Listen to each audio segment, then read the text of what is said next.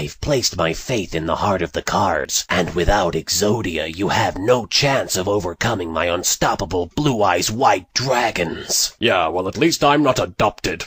What did you just say? Sorry, did I touch a nerve? Why don't you run home and cry to mummy? Oh, that's right, you don't have one. Yugi, I respect you as a duelist, but if you continue to act like a petulant child, then... Hey, everybody, look at me! I'm Seto Kaiba. I have a dragon fetish and I sound like Brock from Pokemon. Screw the rules, I'm in love with Nurse Joy. That's it, Moto, you're f***ing dead.